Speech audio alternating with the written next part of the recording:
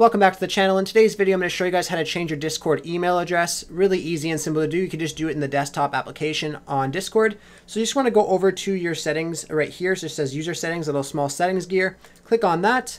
And then you just want to hover over the my account option and just click on edit right here.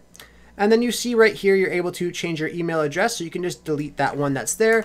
And then you could go ahead, and type in a new email address. Once you're done, you can click on save and then it will then save it to your account and your email address will be changed for this Discord account. I hope I was able to help you guys out with showing you how to change your Discord email address. If this was helpful to you, be sure to leave a like on the video and subscribe for more.